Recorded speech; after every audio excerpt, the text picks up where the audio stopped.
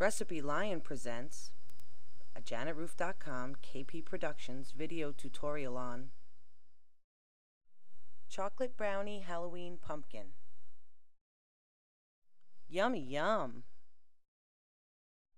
These are the ingredients you'll need to make a chocolate brownie Halloween pumpkin. One pizza pan,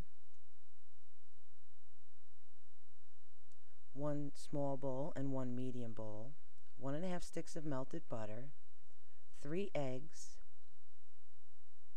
one tub of vanilla frosting, a half a cup of cocoa powder, one and a half cups of sugar, three quarters cups of flour, two teaspoons of vanilla extract, a half a teaspoon of baking powder, a quarter teaspoon of salt, red and yellow food dye, one pot holder, one frosting knife, one wooden spoon, one spatula, an extra teaspoon of butter to grease the pan, and any kind of can of decorator frosting. It just makes it easier to use, and colored sugar is always easy to use as well. You also need two cooling racks. Preheat your oven to 350 degrees Fahrenheit. Grease the pizza pan with an extra teaspoon of butter. In a large bowl with a wooden spoon, beat melted butter, sugar, and vanilla. Add the eggs one at a time until just combined. Add the dry ingredients and stir until well blended.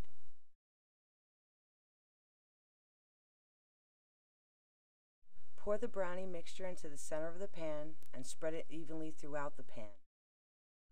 Bake for 20 to 25 minutes. Brownie is done when the top springs back. Cool completely before frosting. Prepare the frosting. Transfer the frosting into the small mixing bowl. Add the yellow and red food dye and stir. Keep adding yellow and red food dye until the desired color is reached.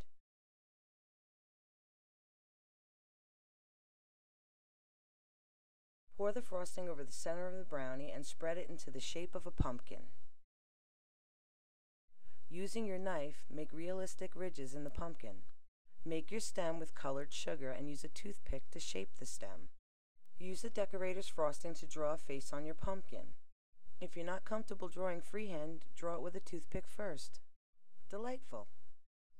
I'm happy to be a part of RecipeLion.com. When you subscribe to RecipeLion.com, you're subscribing to the best resource on the internet for recipes and cooking tips. Come discover your inner chef on RecipeLion.com. This video was brought to you by RecipeLion.com. Check them out too on YouTube. Happy baking!